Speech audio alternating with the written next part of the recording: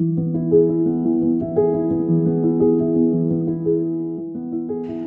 I'm Kelly Gellatly, Director of the Ian Potter Museum of Art, and I'm here today to speak about this fabulous tapestry by Richard Larter called Star Type from 1979. Richard Larter is best known for this period of his work where he was sort of regarded as one of Australia's foremost proponents of pop art, but interestingly, he didn't see himself um, as a pop artist at all. These works with this kind of collagey pop aesthetic are key to his practice in the 1970s. And for Richard, he's really at this time, and it's something that he continues throughout his career, to push the boundaries of taste and propriety and really make us question as an audience and a society around what upsets us and what we value.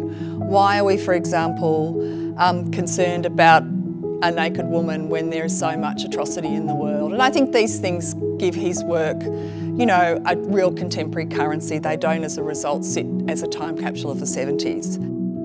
One of the great things about Larter's work for me is his relationship with his extraordinary wife Pat, who is pictured here and here.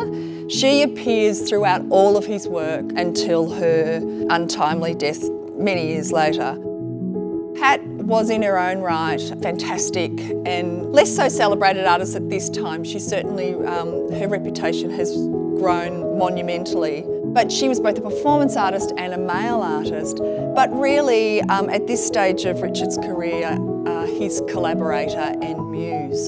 So it was very much about her agency and role within these, playing with those codes, but effectively kind of tipping them on their head because she had the power. And for me, that is central to all of Richard's work, that it is very much, it's a celebration. They can often be read as something other than that.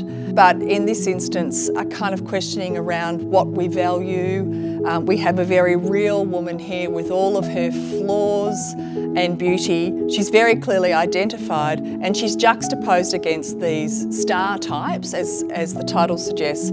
And I think Richard's very much questioning why is one better than the other? Why is more highly valued or prized than the other?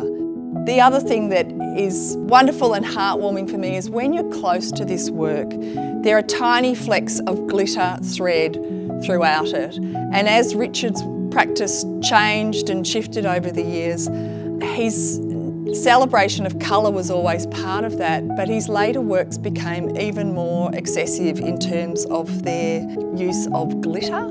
And he used to refer to the fact that there was nothing like a bit of sparkle-arkle to make people sit up and look at the work and think about things differently.